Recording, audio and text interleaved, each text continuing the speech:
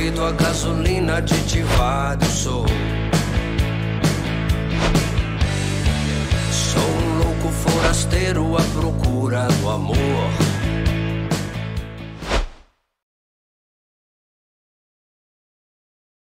Salve, salve galerinha Hot Motors, com vocês? Tá aí galera, no vídeo passado eu tirei os tuchos da caravana e comentei com vocês sobre os tuchos hidráulicos e mecânicos, tá? Esse meu que eu vou conferir se já foram tuchos secados, aparentemente sim, tá? Porque ele não tem o movimento da mola mais interna aqui, ó, tá travado.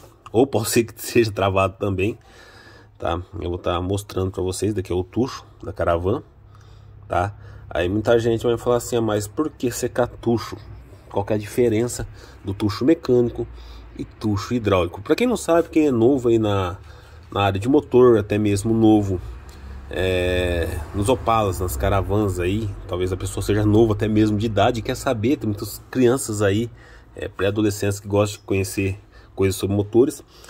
O, a linha GM, na década de 70, 60, 80, ali no comecinho de 90, 90 na verdade eles usavam a maioria tuchos hidráulicos mas tinha a mecânica 250, 250S, 151S e 151 normal, tá bom?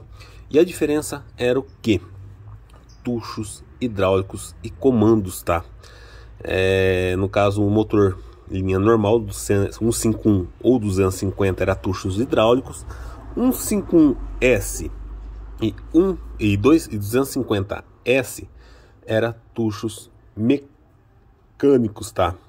eram tuchos travados, modo dizer, que eram tuchos que não tinha movimentos de molas internas. Aí a galera vai perguntar assim, mas qual que é a diferença do tucho mecânico para o tucho hidráulico? Tucho mecânico, galera, vamos começar pelo tucho hidráulico. O tucho hidráulico, ele vão, vão molas aqui dentro, onde esse pistonetinho que ele mexe conforme você funciona o motor, tá? Ele vai tendo movimento, hora que pressuriza o óleo ele fica mais firme, dando abertura maior de válvula, tá? Trazendo economia, era um modo de trazer economia, e só que capava um pouco sua potência.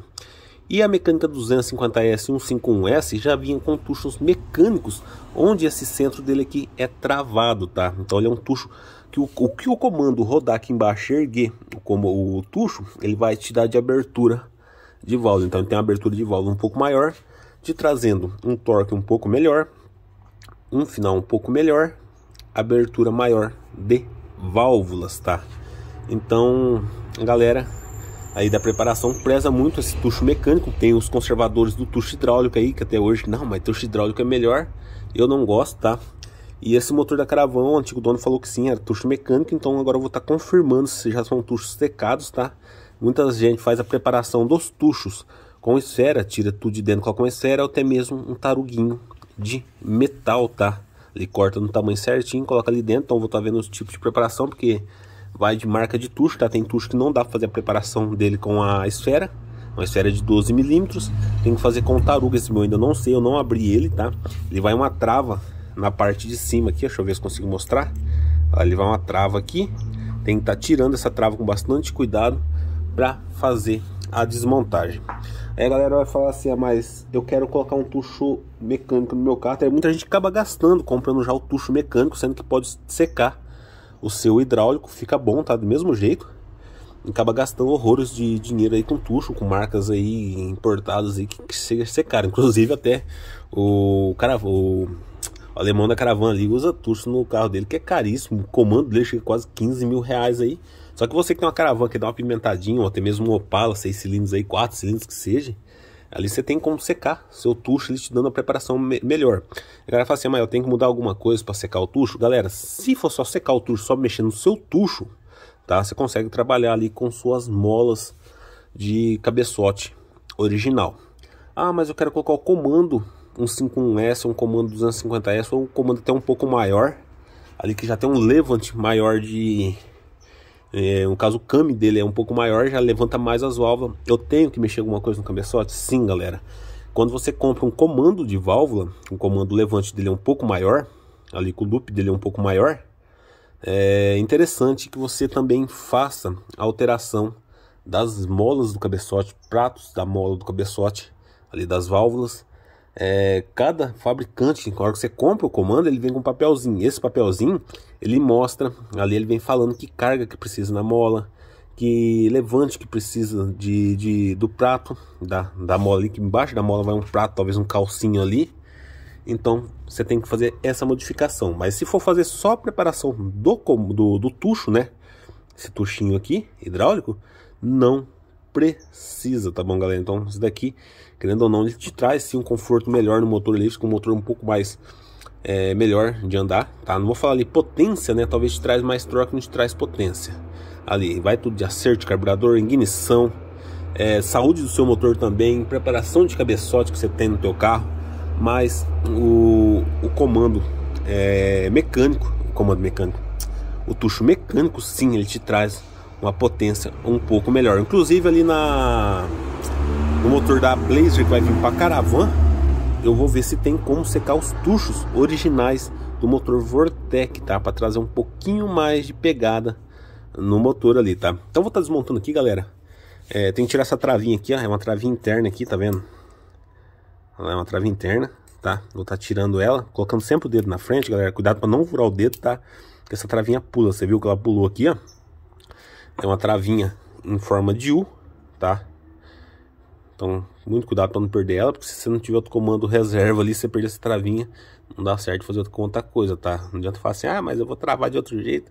Tem que travar com essa travinha para que não desmonte no motor, tá? Então, tira com cuidado a travinha. E eu vou tirar essa parte interna. Lá, esse meu aqui, galera, aparentemente eu não sei se é original, mas ele é um pouco diferente. É, alguns tuchos mecânicos, ele tem uma telinha aqui em cima, tá? Eles são divididos em duas partes. Ele é um prato, uma telinha, depois essa parte, essa parte é um pouquinho mais comprida, tá bom? Esse meu aqui ele já é uma peça só, tá vendo? Ele é uma peça só, entrada de óleo aqui, aqui a saída de óleo onde que vai lá pro comando, pro comando pros balancinhos, tá? Ele sobe por dentro da, da, da, da vareta de válvula, vai lá para cima. E aqui dentro, esse meu aqui, igual eu falei, muita gente faz a preparação com a esfera de 12 milímetros. Esse meu aqui, ele já é um taruguinho de metal, tá? Foi cortado um taruguinho de metal. Deixa eu dar uma limpadinha nele aqui. Ele foi cortado um taruguinho de metal, lá. Aparentemente aqui de uns 2 centímetros. E montado aqui dentro, tá bom, galera? A parte interna aqui ela é oca, tá? Quando ele é original, onde que ele tá hidráulico ainda, ele vai mais uma mola aqui dentro, ele vai mais um, um negocinho aqui por baixo desse tipo de, de comando, de, de tucho, tá? Tem um outro tucho que ele é um pouco diferente. Ele vai outra parte aqui embaixo, que é onde tem outra esferinha que faz a retenção de óleo. Então é um pouco diferente. Esse meu aqui, ele pode ver que lá na parte interna ele já não tem mais nada, tá vendo? Deixa eu dar uma focada aqui para ver se vocês conseguem ver. Olha lá. Ele não tem mais nada lá na interna, tá vendo?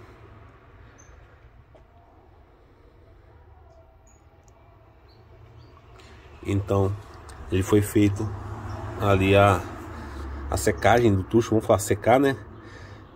A preparação do tucho com um taruguinho de metal, tá? Tem muita, igual eu falei nos outros comandos de outro modelo, é feito com a esfera, é colocada a esfera aqui dentro, que ela encaixa certinho lá dentro e vem com essa pecinha aqui, tá vendo? Ele vem com essa pecinha, com esse meu aqui ele não dá certo, tá? Ele é um pouco diferente, Deixa eu ver se eu consigo encaixar ele. Você vai ver que ele vai afundar lá embaixo. Olha lá, ele entrou lá para baixo, tá vendo? Qual da esferinha. Ele já é um pouco diferente. O outro modelo de tucho, deixa eu tirar aqui. O outro modelo de tucho, esse daqui é um pouquinho mais comprido, então ele consegue encostar lá na válvula, na, na esfera e ficar no, na posição correta, tá? Aqui em cima. Mas esse daqui, como é outro tipo de tucho, ele é feito a preparação com esse taruguinho, tá bom? Ali. Aí dessa forma ele fica rígido, né? Então todo levante que tiver seu comando, ele vai transferir lá para válvula de admissão, tá? Então é um motor que te traz um pouco mais de, de força, tá? É um motor que te traz um pouquinho mais, ele respira um pouco melhor, na verdade, que as válvulas vai estar tá abrindo melhor. Vai te trazer um pouco mais de torque em baixa ali e vai te melhorar um pouquinho de final, mas daí depende tudo, igual eu falei para vocês, galera. Depende tudo ali de preparação. Depende de acerto do motor, tá? Não adianta falar assim, ah, vou, vou só secar meu tucho aqui e meu carro vai ganhar 30, 40, 50 cavalos. Não é coisa assim não, viu, galera? Você seca teu tucho aí, você faz uma, um acertinho de carburação, um acertinho de escapamento aí pra você ganhar 10, 8 cavalos aí no máximo, tá? Aí o povo acha que para ganhar potência em carro aí, você tem que fazer tipo, ah, eu troquei uma vela do carro, vou ganhar 50 cavalos. Não é assim que funciona a preparação, tá? Tem muitos preparadores aí que, que se gaba aí falando que, nossa, eu gastei tipo 2 mil, ganhei 100 cavalos no carro do fulano. Não é assim que funciona. Tem muitos preparadores que se bancam de preparadores, galera. E na verdade o Alemar sabe mexer no carro dele, na verdade preparação ela se preza assim em potência, mas ela tem que pensar também na segurança do motorista, tá? Não adianta eu ganhar 300 cavalos e não ter freio para frear. Então, se você modifica a potência do carro, você automaticamente tem que modificar frenagem do carro também, porque você não quer um, um foguete para andar e um jegue para frear, né? Então, você tem que ter pensar nessa parte. Tem muitos preparadores aí que inclusive montam motores, deixam bronzina solta dentro do motor, que aconteceu com, com, com, com um colega meu um carro tempo atrás, gastou rios de dinheiro no motor aí, o motor com 3 mil quilômetros, foi trocar óleo, tirou o bujão do motor ali, embaixo, saiu a bronzina de comando. Então é erro de medida do preparador, ali tinha outras cagadas, então nem falo nada de preparador. Então, igual eu falei, o preparador, que é preparador, galera, ele faz o que? Ele faz, tipo, teu carro assim, o teu carro tá no datasheet, teu motor ele, ele suporta 300 cavalos com as peças originais. Ele vai fazer o que? Ele vai fazer a preparação dentro do seu limite, no mínimo 30% a menos para ter uma margem do que? Uma margem de sobra para não te dar quebra dos motores. Tem um preparador aí, tipo, do motor é, suporta tipo 300 cavalos, a gente coloca 500. Para quê? Para o motor quebrar, para voltar para ele, para ele fazer de novo, para ele ganhar dinheiro em cima de você. Aí ele fez o motor de novo. Ah, agora o teu motor aguenta 700, coloca 750 para quebrar de novo para ele voltar para você. Então o, o, o preparador tem que pensar no que? Na segurança do, do proprietário, no bolso do proprietário e lembrar que fazendo um serviço bem feito, o proprietário vai voltar sempre nele para fazer novamente ali o que precisa ser feito no carro. Não adianta eu preparar o carro aqui, ali o carro quebrou, amanhã eu não vou trazer, eu preparei no fulano, eu não vou voltar nele porque quebrou meu carro, eu vou em outro. Então você tem que prezar o seu cliente, prezar o carro ali e ter um certo amor pelo motor, né? Porque não adianta você falar assim, ah, é preparador, vou trazer mil cavalos no seu carro aí, foda-se teu bolso e foda-se você. Não é assim que funciona, tá bom, galera? Então vou montar de novo o tucho aqui, já acabei de identificar aí que o tucho é sim mecânico, esse meu aqui, tá? É, o proprietário realmente falou é a verdade da outra vez eu falei para vocês, comentei que o proprietário havia falado que era tucho mecânico e eu estava duvidando. E sim, são tuchos mecânicos. Então vou montar é, da seguinte forma, vou montar aqui tá o tucho totalmente limpo lá dentro. Vou colocar o taruguinho aqui dentro. Ó, encaixei o taruguinho, encaixou lá no fundo, tá vendo? Eu vou vir com a, essa pecinha aqui, tá? Não sei o nome correto dela. Vou vir com ela. Vou encaixar ela aqui. Ela entrou. Venho com a travinha, a travinha com a própria mão você coloca, tá? Certo? Cuidado que tá liso aqui de óleo. Lá, coloquei. Venho com a pontinha de metal. Travou. Tá montado o seu tucho mecânico, tá? Lembrando que esse tucho mecânico, galera, se for armazenar ele, é, tanto mecânico quanto hidráulico, é, mas coloca dentro do saquinho, tá? E colocar óleo junto, tá? Pra não pegar oxidação até mesmo da mão aqui, ou tempo aí, úmido do tempo, para não estragar, tá? Se pegar umidade, é, umidade aqui, oxidar, você perde o tucho, tá? Ele tem que ser lisinho essa parte aqui, para não ter oxidação nenhuma, senão você perde o tucho, não fica daquela forma que tem que ficar, tá bom, galera? Vou ficando por aqui, um vídeo rápido só para mostrar um pouco sobre o tucho, tá? Ali eu ia ensinar, na verdade, eu ia fazer um vídeo ensinando como secar o tucho para vocês, apesar que eu expliquei, né? Mas eu ia fazer um vídeo explicando certinho como secar o tucho mas eu acabei me deparando com um tucho mecânico, tá? Aí, então, é, espero que tenha entendido, né? Mas você quer fazer uma leve preparaçãozinha no seu motor, só secando o tucho vai te dar uma melhora sim, tá? Você vai perceber é, praticamente na mesma hora que você secar, você vai perceber ali que você montar teu motor, se der partida, que vai ter um pouco mais de torque em baixa, vai ter uma melhorinha sim no seu motor. Mas se quiser fazer uma preparaçãozinha mais cabível, troca comando. O comando hoje não é tão barato, mas é um investimento bom. Lembrando que sempre tirar o tucho, galera, confere essa parte aqui, tá? Essa parte aqui não tá comida, tá? Esse meu aqui ele tá novinho, tá vendo? Se ela tiver tudo corrida, você pode ter certeza que o comando tá ruim também, tá? Porque o comando ele trabalha subindo e descendo, só que no mesmo tempo que ele sobe, ele, ele na verdade o câmbio dele não é reto, ele, o câmbio dele é meio que em grau. Conforme ele sobe e desce, ele vai rodando o seu tucho, tá? Então, olha isso daqui, se tiver gasto tucho aqui, você vai ter que trocar seus tuchos, trocar seu comando, tá? Senão não, você não aguenta fazer regular. Você faz regular, também já tá regulando, só que na verdade você não acha, não é tipo assim, ah, tá saindo regular, já o parafuso lá em cima tá soltando. Não, galera, talvez o parafuso tá ficando do mesmo jeito, a porca lá da regulagem, porém tá te comendo comando e tucho, tá? Então faz essa conferência certinho lá para não correr risco de você danificar teu motor ali ou ter até uma quebra grande ali no seu motor. Tá bom, galera? Ficando por aqui. Não esquece de deixar aquele super like, deixa o like aí pra mostrar que tá gostando dos conteúdos, tá bom? Comenta aqui embaixo qualquer dúvida, qualquer xingamento, qualquer coisa que você quiser, comenta aqui embaixo, tá bom? Compartilha com todo mundo aí se gostou do vídeo. Compartilha com os amigos aí, se não gostou, manda pra sogra aí, tá bom? E o mais importante, se inscreva, galera. Chegamos a meta de 3 mil inscritos aí, estamos em rumo aos 4 mil aí, então vamos fazer a família Hot Motors crescer.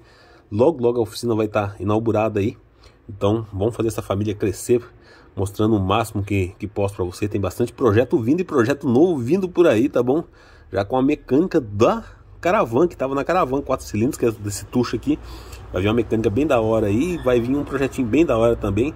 Então já se inscreva aí, já ativa o sininho, porque tudo que eu colocar aqui no canal, tá bom? Chega em primeira mão para vocês. Então já ativa o sininho aí, clica no botãozinho vermelho aqui embaixo, já ativa o sininho também, aí que coloquei qualquer coisa que já chega em primeira mão para vocês. Tamo junto, fui!